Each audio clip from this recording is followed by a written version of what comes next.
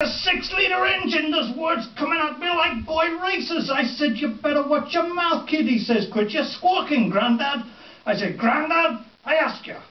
I says, there's women and children here. You better shut the fuck up. Then he pokes me one right here on the kisser. See, just there, whang. And I go down faster than the Lehman Brothers bond. I don't even see it coming. You see, that's what you get. That's what you get when you get old. You don't even see 'em coming.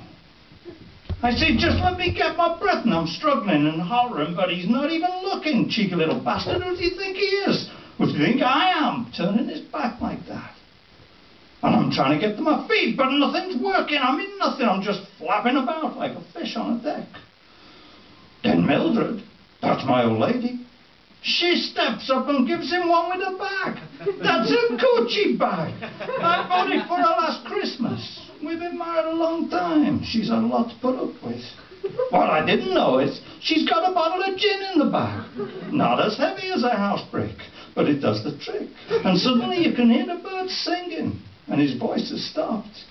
I'm thinking the screw old bitch is going to get hers now when he turns round, but he doesn't turn round. It just sort of topples backwards.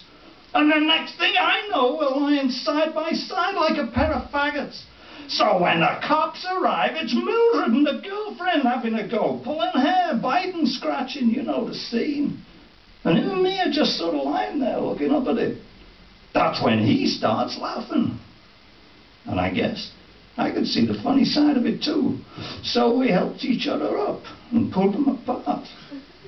But old officer Krupke here Gotta make an arrest. Guess he's gonna quote us. So we're all four thrown in a van and brought down here. He says, don't you want to press charges? I said, what's the harm? So we all got a bash. And me and him got to watch a really cute cat fight. So no, I don't want to press charges. Well, that pisses him off. Next thing I know, we're up before the judge on charges of outraging the public decency or whatever. Now that's the story. So what are you going to do about it?